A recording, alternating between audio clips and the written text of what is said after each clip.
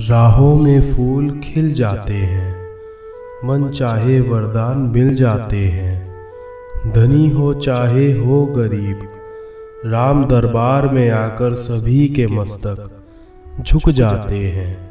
बोलो श्री रामचंद्र की जय।